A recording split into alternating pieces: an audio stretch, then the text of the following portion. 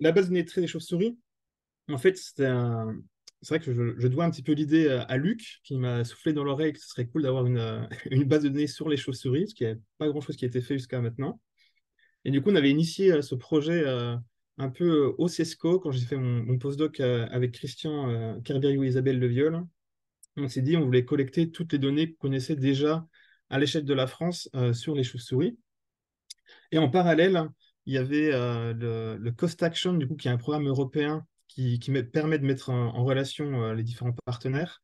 Du coup, ici, c'était le Cost Action sur le changement climatique et les chauves-souris, qui était mené par euh, deux autres collègues qui étaient passés dans le même labo que moi en thèse à Bristol, hein, et qui menaient aussi une base de données sur les traits de chauves-souris. On a appris un peu plus tard, et on a décidé de, de joindre un petit peu les forces et de mener ça euh, tous ensemble. Du coup, c'était un projet qui a rassemblé une quarantaine de personnes à travers l'Europe, du coup, qui était assez chouette à mener, qui a commencé vraiment dans les locaux euh, du CESCO qui a fini euh, un petit peu partout en Europe. Et du coup, là, l'idée, c'était vraiment, on est parti du constat, en faisant une revue euh, littérature, de littérature, pardon, que y avait de plus en plus de, d'études qui utilisaient les traits fonctionnels en tant que variable réponse.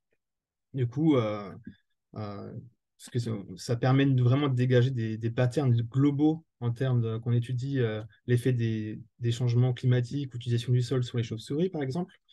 Et le constat était aussi que malgré ce- cette progression des études sur les traits fonctionnels, en Europe, il n'y avait pas grand-chose de fait.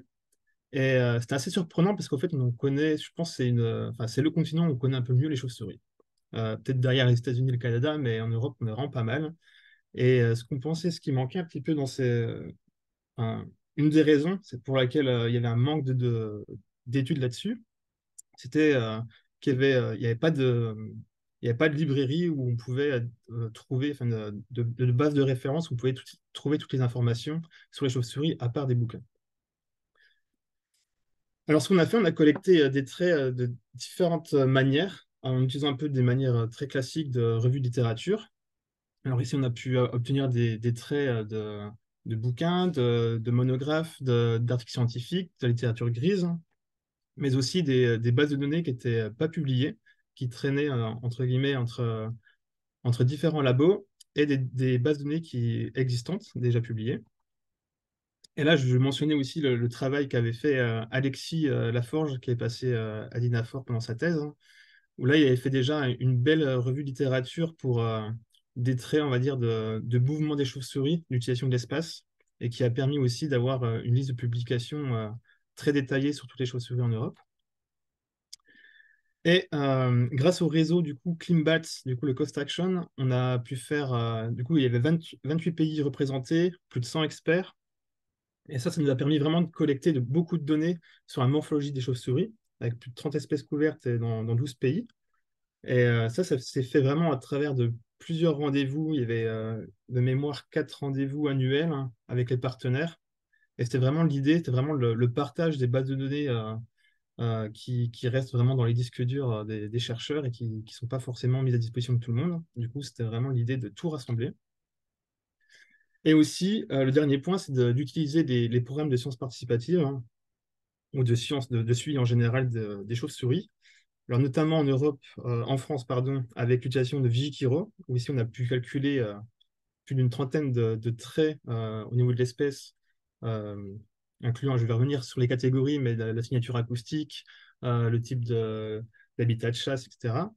Et aussi à travers le programme Catchy, du coup aussi me- mené par, le, le muséum avec beaucoup de partenaires en France, où, euh, encore une fois, c'était les, euh, bases de données euh, sur la morphologie des chauves-souris qui restaient au niveau associatif et là qui étaient remontées au niveau national. Et là, on a pu collecter plus de 60 000 mesures sur la taille des avant-bras, par exemple, ou plus de 6 000 mesures sur le poids des espèces. Du coup, ça représente quand même une, grosse, grosse base de données.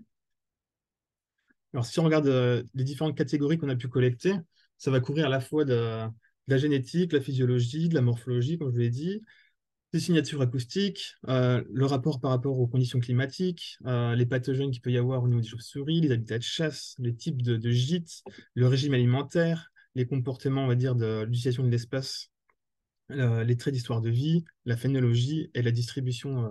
Je ne vais pas revenir, il y a, plein, de, plein de traits dans ces catégories qu'on a essayé de couvrir pour chacune des espèces, du coup 47 espèces en Europe. Et si on regarde ce graphique, alors je vais vous le détailler avant de, vraiment faire un focus dessus. Ici, on a les espèces en, Y. En X, on va avoir les, types de, enfin les, traits collectés. Et ces traits, il y a un code couleur c'est par catégorie de traits. Du coup, on a la génétique ici en bleu, je ne sais pas si vous le curseur, ensuite la physiologie, etc. Et en fait, ce tableau, il permet, euh, enfin, cette matrice, elle permet, euh, elle a plusieurs lectures. On peut déjà voir les espèces qui sont peu couvertes par, euh, par tous les traits. Par exemple, ça va être les espèces insulaires ou enfin, vraiment endémiques des, îles, où là, on, voit qu'il y, a un manque de données en général. Et aussi, il y a une chose flagrante, c'est le, manque de données par catégories de traits. Par exemple, ici, la physiologie, en fait, on a très peu de données. Et une autre lecture qu'on peut faire aussi, c'est parfois on peut avoir la donnée, mais euh, c'est une donnée qui est dégradée, généralement catégorique, et on peut avoir des enfin, l'idéal, c'est d'avoir des données continues, euh, quantitatives pour euh, chacun des traits.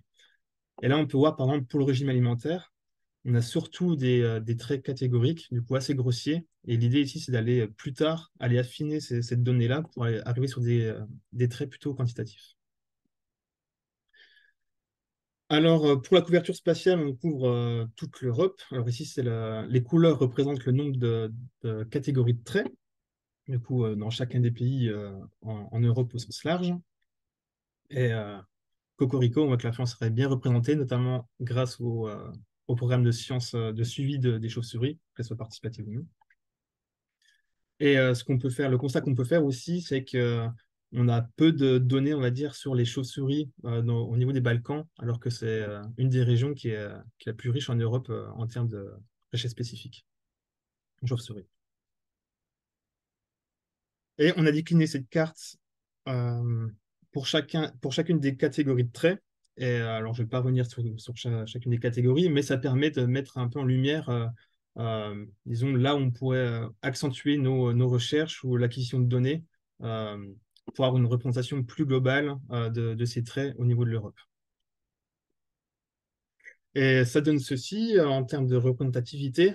Du coup, on va avoir euh, là ici, on a essayé de résumer un petit peu toutes les informations qu'on avait, du coup, avec les catégories de traits et représentativité en termes bah, de nombre de traits qu'on a par chacune des catégories, le nombre d'espèces qu'on couvre, le nombre de, genres, les pays concernés, le nombre de pays concernés, et là l'échantillon du coup, euh, le nombre d'échantillons qu'on peut avoir. Du coup, on a des choses qui sont assez sympas, notamment pour la, signature acoustique, où euh, on a pratiquement plus d'un million de, cris de chauve-souris qui euh, on a des informations quantitatives dessus. Et le nombre de sources différentes, qui est aussi assez important à savoir. parce que par exemple, pour bah, typiquement le, type de gîte, on a une représentativité qui est assez sympa sur tous les types de traits, les espèces et les pays mais ça, provient généralement que ici que de deux sources. Du coup, peut-être qu'il y a un, effort aussi à faire en termes de diversité de sources euh, pour euh, croiser un petit peu tous les regards. Et du coup, qu'on a publié la base de données, la base de données, elle, est accessible dans euh, Figshare. Et ici, l'idée, c'est vraiment d'avoir une base de données qui, qui est dynamique. alors, c'est une base de données qui est au niveau du trait, au niveau de l'espèce. et l'idée aussi derrière, ça va être d'avoir une base de données qui est au niveau de l'individu mais c'est une étape supérieure à laquelle, euh, enfin, une autre étape où on doit encore plus travailler sur plus finement dans les données. Et là, l'idée, comme je vous l'ai dit, c'est vraiment d'avoir une, base de données qui est dynamique. Et là, on, espère avoir un, une, nouvelle, euh, une nouvelle édition euh, début 2024 où on va rajouter des espèces qui, étaient, qui, sont en, Afrique du Nord et d'autres données qu'on a pu acquérir entre le temps d'acquisition pour le, premier, euh, la première édition et, euh, la publication de l'article. Et pour euh, mieux visualiser les données et, avoir une interface qui soit un peu plus sympa que des, tableaux, des tableurs Excel ou, en CSV, on a créé une, Shiny App. Alors, je vais essayer de me connecter. Je ne sais pas si vous voyez toujours mon écran. Oui, on voit toujours ton écran, on voit que tu cherches sur le navigateur. Ok, super.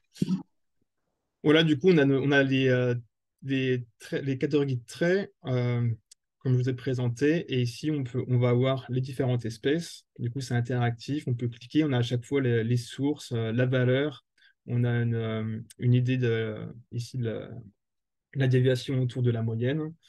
Et on peut, on peut sélectionner par espèce. On peut voir un petit peu la, voilà, ce que je vous ai présenté tout à l'heure, si les données sont complètes ou pas, télécharger, aussi contribuer pour les prochaines éditions.